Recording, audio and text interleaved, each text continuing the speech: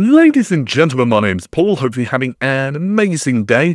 In this video, I want to talk to you guys about some very interesting rumours that RDNA 5 or UDNA, if you prefer, is going to support major changes to the specifications and microarchitecture, significantly bumping the number of shaders per workgroup processor slash compute unit, and also bringing with it a host of new capabilities that were not present in RDNA 4.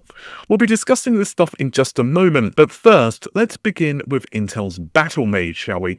Specifically, when we can expect the higher end Battlemage GPUs such as the uh, B770 to launch. So for those of you who don't know, um, these GPUs are roughly speaking going to be competing against the likes of the RTX 5070, maybe the 5070 Ti, depending on a host of different things. What's the workload? What's the final clock frequency? Drivers?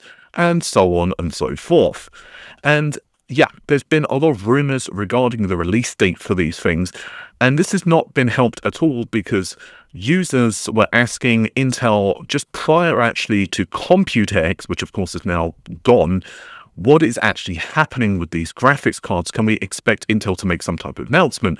And Intel essentially online pretty much hinted that yes, we can expect Battlemage to be announced. At the very least, they were giving some pretty big hints.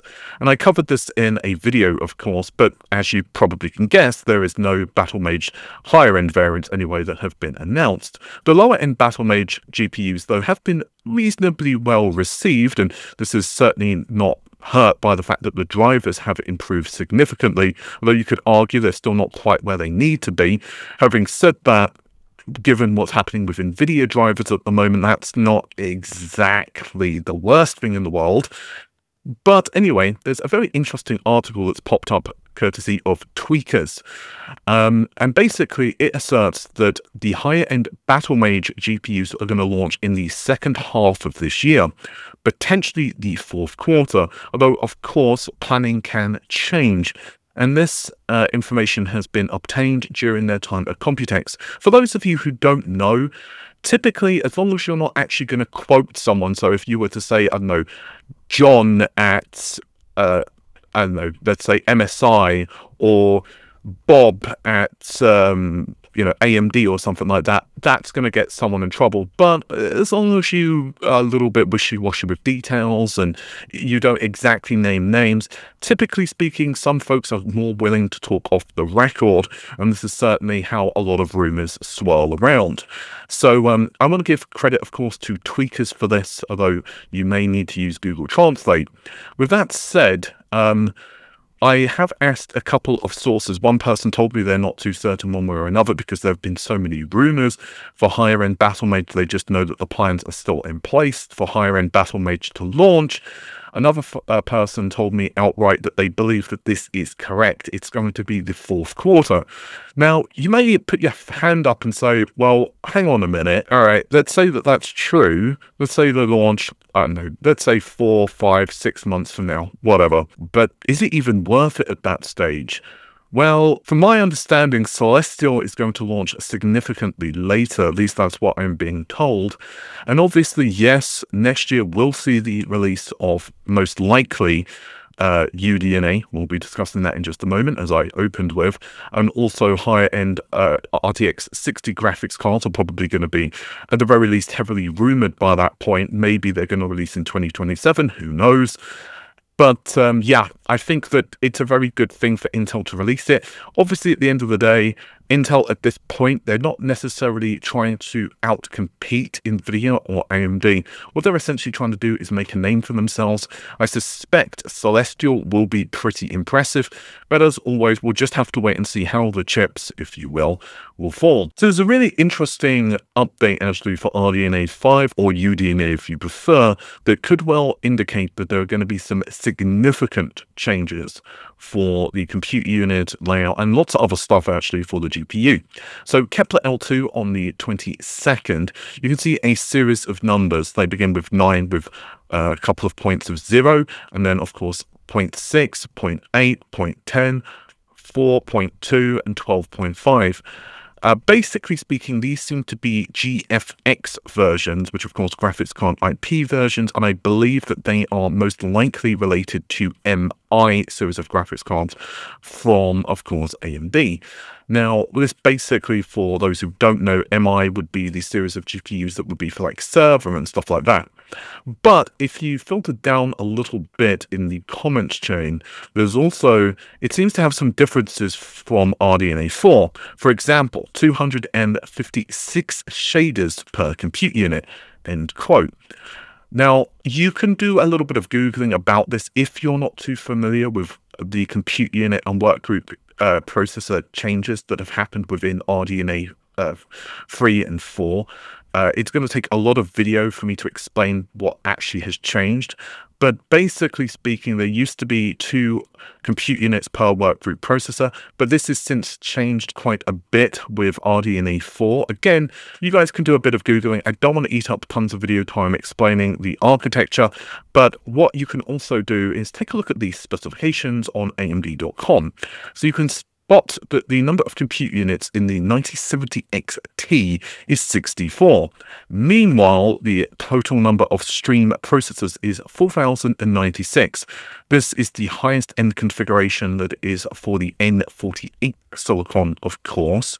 And this essentially means that if you do 64 multiplied by 64, or you take 4096 and divide it by 64, whichever way you want to do it, you're going to, of course, come to the conclusion, at least I would hope so, that we have 64 stream processors per compute unit.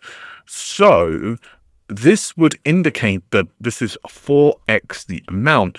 That's assuming, of course, that one, this information is accurate, and two, there is not something else going on. Now, it's possible that Kepler has uh, made a typo or some other issue is arising here.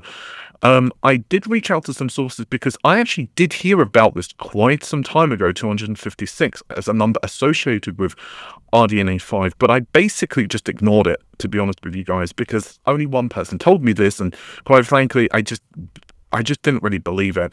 However, I decided to reach out to some sources again because of this um, update from Kepler, and they told me that they think it's not quite like this. Instead, they think it's 256 shaders per workgroup processor. The problem is, workgroup processors and compute units have changed their meaning quite significantly across the whole thing, so it's very possible that Kepler is correct. It's very possible that my sources are correct, but the definition has changed, or it's possible that it's going to depend based on, well, the implementation.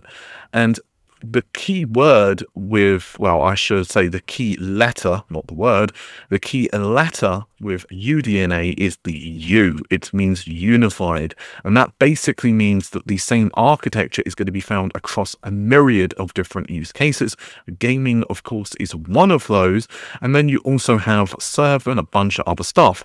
So it's possible, for example, the gaming variants have a larger number of compute, uh, sorry, shaders per compute unit, or vice versa, depending on a bunch of other characteristics. I will also add that one of my sources has also told me, uh, and this is not exactly relating to the same thing, but uh, still slightly related, and that is that essentially with the um, for UDNA, matrix operations can essentially operate can execute, sorry, so matrix operations can execute in parallel to vector. Now, to be clear, this is not totally new for AMD GPUs. This is actually something that I believe is already present on CDNA.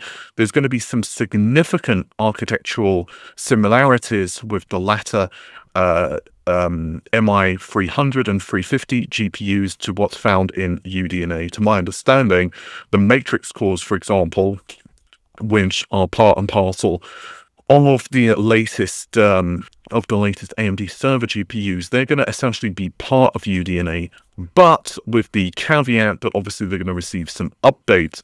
Basically, this is going to be AMD slowly transitioning to an architecture.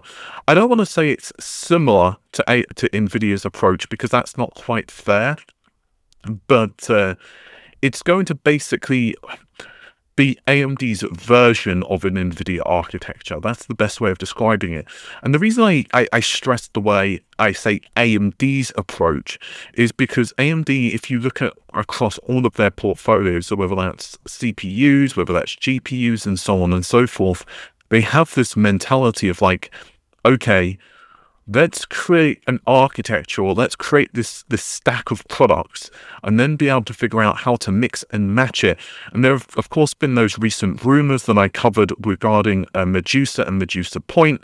and just for those who don't know regarding medusa although it is important to realize that that's not rdna um, 5 that's going to be based on udna uh, sorry rdna 3.5 um, the, the the cpu in that thing you have the you know cluster of uh, eight cores, sorry, twelve cores on the uh, on the CCD complex, but you also on the IOD, whatever you want to call it, it also has a compute complex as well, and that's going to have four dense cores, four classic cores, and also those low power cores. So that's basically AMD being able to kind of use the arc, uh, use all of their chips and kind of just cobble them together. And I don't mean to be kind of disrespectful when I say cobble, but you get the idea, kind of nudge and, and mesh them together as necessary using advanced packaging processes. But you can also take that same CCD and then use it in, let's say, for sake of argument, a desktop processor, or you can just have that IOD, quote unquote,